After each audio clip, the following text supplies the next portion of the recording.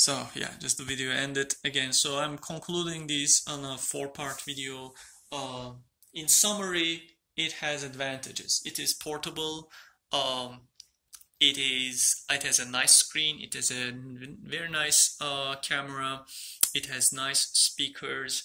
And it's a windows device you can use for um, uh, for your basic stuff. And technically if you don't want to use a protector it actually stands on its feet because uh, it has its own kickstand.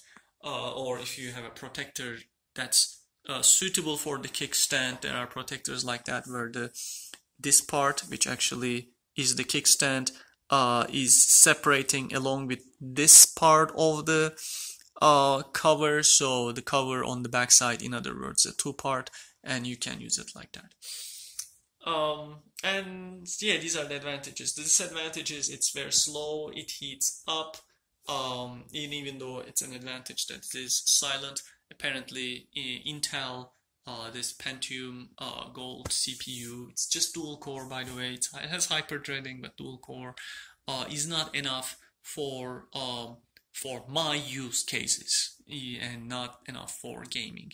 And if you were to go with the more uh, affordable option for uh, gigabytes of uh, memory and 64 gigabytes of storage. Uh, because their speed is not slower I think at 4 gigabyte you won't have dual channel though I don't know maybe it is still dual channel actually I should not know that. Uh, still it's not going to be um, uh, as good as even an affordable uh, laptop. So in short uh, let me go to task manager. In short um, only purchase this if you know the shortcomings so as you see I have uh, half of the memory usage with 8 gigabytes. So if you had 4 gigabytes I, you wouldn't have much of memory left. Um, if so you you it has a lot of compromises and the connectivity again uh, is an issue. Uh, you don't uh, have much of it. So what could uh, Microsoft have done, or if they release another Go like Surface Go 2, what they should do is they need to add one more uh, port and ideally at least one Thunderbolt port and on both sides. So as you can see, uh, the charging part is here, but my um, adapter is over there. So the cable needs to uh, travel like this over here.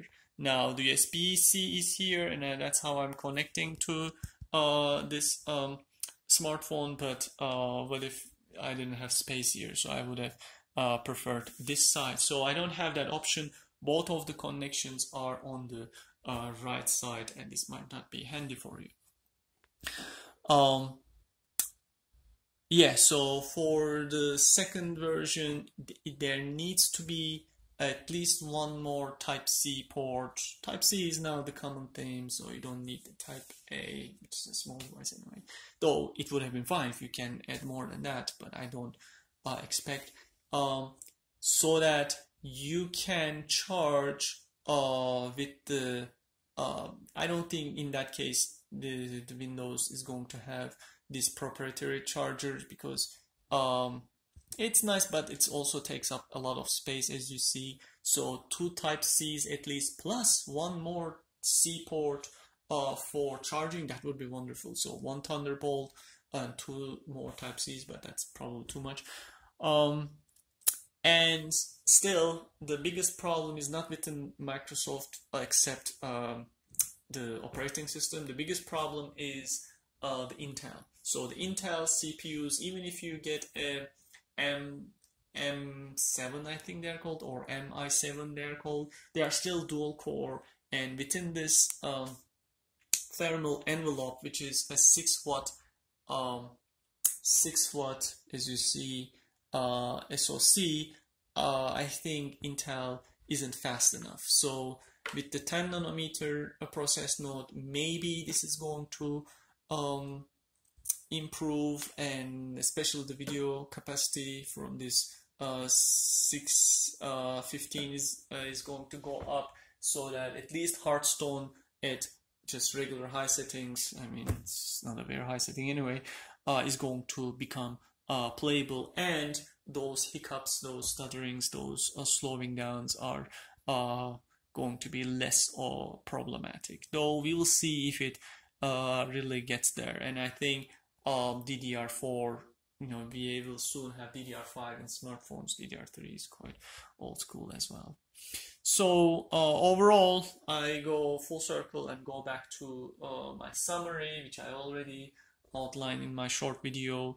Uh, for portability, for good screen, for speaker, and for camera, it is okay. But for uh, some slightly uh, heavier usage for gaming, uh, for connectivity, this device is not okay.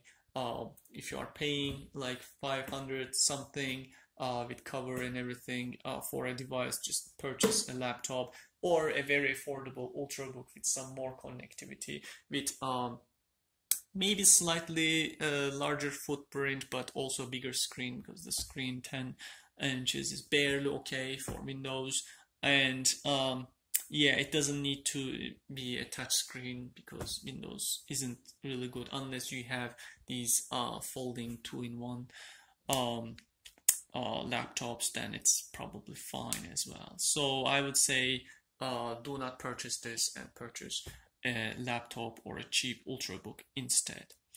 Okay, so that's uh, all my take on this device, and um, yeah, uh, I hope this is useful for uh, people who are still uh, considering uh, this Surface Go after one year.